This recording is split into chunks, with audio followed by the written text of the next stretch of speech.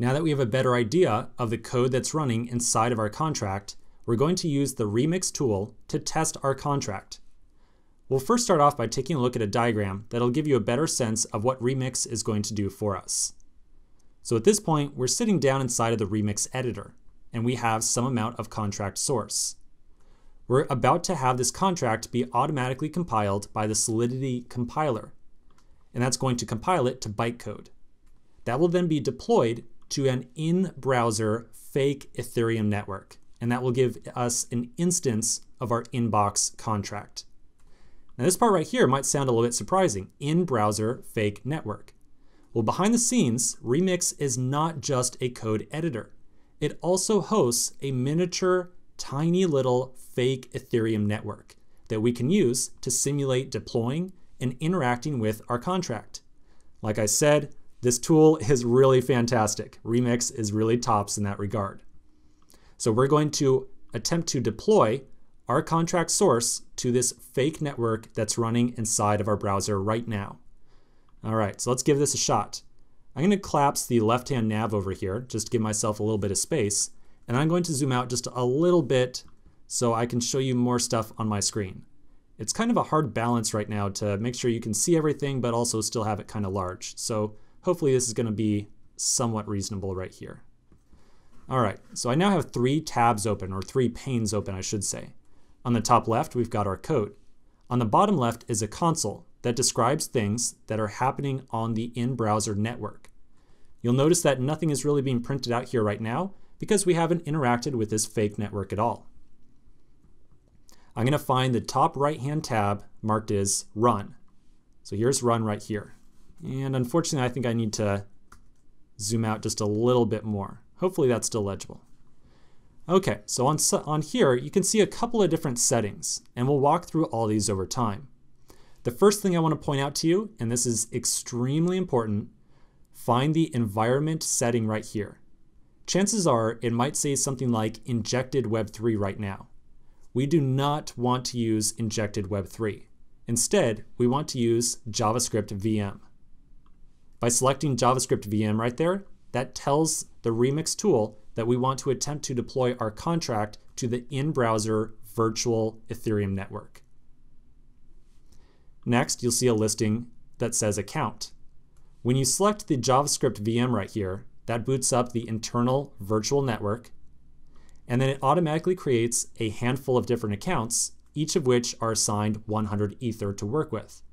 So these are all accounts that exist only inside of our browser right now, and they have been pre-funded with 100 Ether.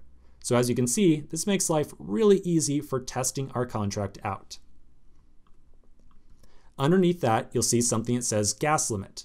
Now we haven't really discussed gas just yet. This is something that we're going to come back to very shortly and talk about in a little bit. Let's just leave it there for right now. Finally, you'll see something that says value. Value is used to make a transaction and also send al along some amount of Ether with the transaction. We'll use this value setting later on as we start to test some of our other contracts. Now down here is where things start to get really interesting. You'll see a drop down and it has selected already Inbox. This is selecting a contract that we want to attempt to deploy to our local test network that's running inside the browser. Underneath that, you'll see something that says string initial message. And then to the right, it says create. So this is a lot of fun. I enjoy this a lot. Okay, so here's what's happening.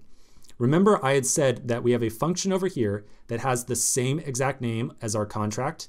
And because it had the same name, this is what we refer to as a constructor function. And constructor functions are automatically called whenever we first deploy or create an instance of a contract. Our constructor function says that it accepts a string argument that is called initial message. So notice how string initial message also appears over here in this input. So what we're going to do is enter in some string, then click create. When we do that, a instance of our inbox contract will be automatically created. The constructor function will be called, and this constructor function will be called with an initial message of whatever we place into this input right here. So let's do that right now. I'm going to type inside of here, inside of a string, hi there. Make sure you get double quotes around this. and then I'll click Create. All right, we see a little bit of activity over here in the console. And then for you, you can probably see it much more easily than I, down here at the bottom, there's now a new entry.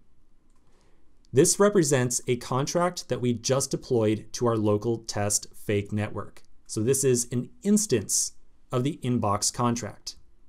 This instance right here lists out all the different functions contained with the, on it on the on the contract instance itself, which are essentially all the different ways that we can interact with the contract. These are buttons, and if we click any of them, it will automatically invoke the corresponding function inside of our contract. The buttons that are kind of this bluish violet look right here mean that they are view or constant functions that can be called and instantly will return some amount of data to us. On the other hand, we have the set message function, which is a function that is going to modify the contents of our, of our contract in some fashion. Just like the input for the constructor function up here, notice that setMessage also tells us exactly what type of input is expected when we call it. So setMessage expects to be called with a string that's called new message internally. So if we want to call that function, we would have to put something inside of here that specifies exactly what we're trying to update that value to be. Let's try clicking on get message right now and just see what happens. So I'll click it and you can see the return of that function call right here. It says that we got back zero. Zero means that this is the first returned value from the function. In this case, our function only returns one value. And so this is the first of just the one value that gets returned. If we had returned multiple values from getMessage, then we would see zero, a value, and then one, and the next value that got returned. After the zero, we get the type of data that got returned. So in this case, our message is always a string. And so this is telling us we got back a value of type string.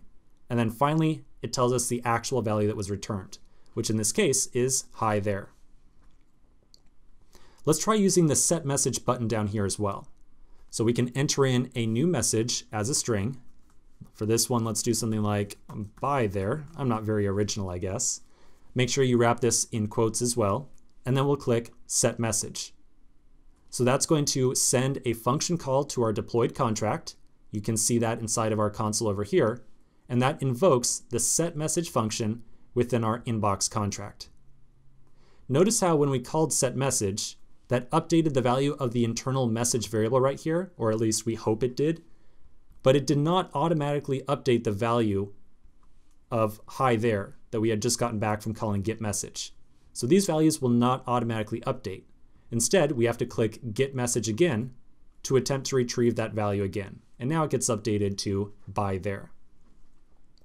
At this point in time, we haven't really, I haven't really taken the time to tell you what this contract does, but at this point, I think you probably get a pretty reasonable idea of what it's doing for us. So here's a diagram of our contract as it is deployed currently on the test network.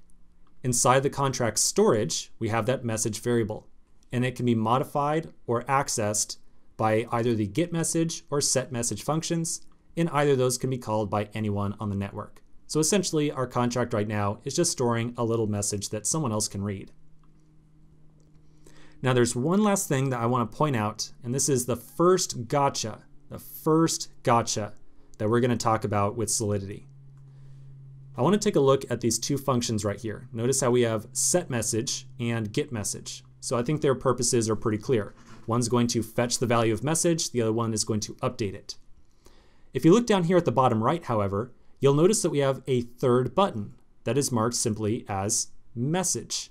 Well, let's try clicking that and see what happens. Notice how it returns the exact same value as the get message function. So here's the first gotcha. And this one maybe isn't quite so much a gotcha. Maybe it's just kind of an interesting fact of how Solidity works. Whenever you define a storage variable, and remember we define those right here, if you mark that variable with the public keyword, then your contract is going to automatically create a new function for you. That function will have the exact same name as your variable. If you call that function, it will return the variable itself. In other words, the get message function that we created right here is a little bit superfluous. In other words, it's a really a duplicate of some existing functionality that we already got for free. So because we use the public keyword right here on message, that automatically created a new function for us behind the scenes that allows us to access the value of message. I specifically wanted to do this kind of like little oopsie kind of gotcha thing right here because this is something that I see a lot of people run into very frequently. They might write a get function that attempts to retrieve a value when it turns out one already gets created for free for you. So if we wanted to, we might decide to just delete this function right here and get rid of it altogether because we can just make use of the pre-generated message function that's going to return that value anyways. I think maybe we should do actually do that and delete this function here and then redeploy our contract and see how that works. Let's take a break and then take care of that in the next video.